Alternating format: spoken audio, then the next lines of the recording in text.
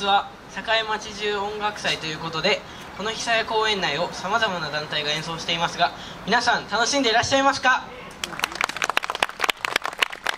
この餅の木広場会場では先ほどのリトルヒルズジャズオーケストラに続き愛知中学高校吹奏楽団がビッグバンドジャズを演奏いたします。しばらくの間ですがどうぞお楽しみください。本日のご案内は高校1年亀谷優斗。高校1年山下らおでお送りします。よろしくお願いします。まずはお聴きください「 The Gospel According to Miles」です。それではどうぞ。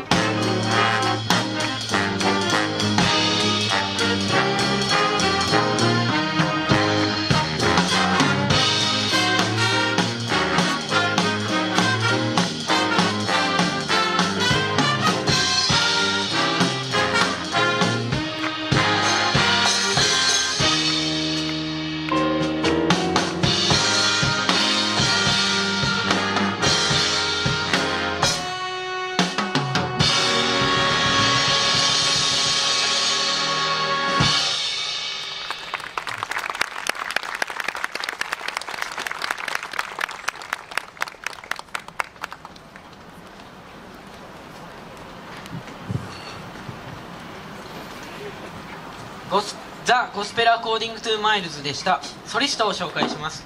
on テナーサックス高校2年加藤サンゴ。 on トロンボーン高校1年渡辺冬香。 on トランペット高校1年植木智美。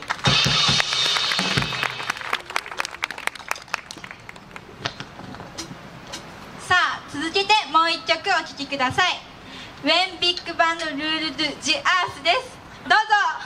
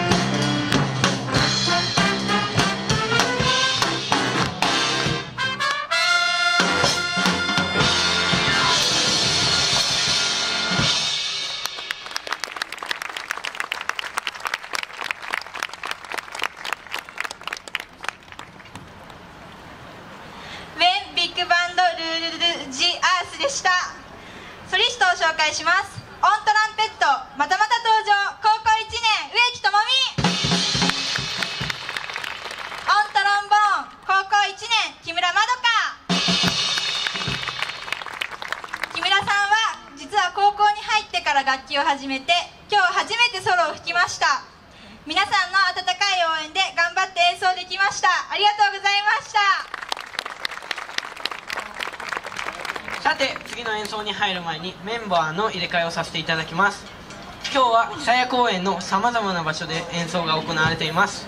私たちは愛知高校の部活動でジャズを演奏しています。名古屋市内にはジャズを演奏する中学や高校がいくつかあります。吹奏楽とはまた違って雰囲気があってお楽しみいただけると思います。それでは次の曲をお聴きください「シークレットスマイルズ」です。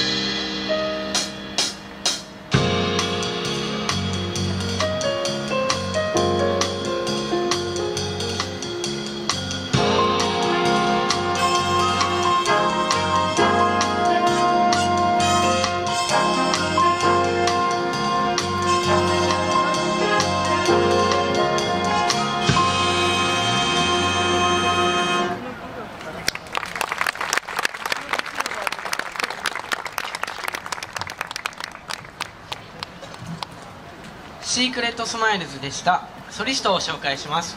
on テナーサックス。高校2年。花田響。 on ピアノフォルテ。高校2年。谷口加穂。次はチャーリー・パーカーの「 Yardbird Suite」という曲をお聴きいただきます。アルトサックス奏者奏者でもあったチャーリー・パーカーはモダンジャズの父と言われ数々の名曲を作曲しました。その代表作であるナンバーを演奏いたします。お聴きください「ヤードバード・スイート」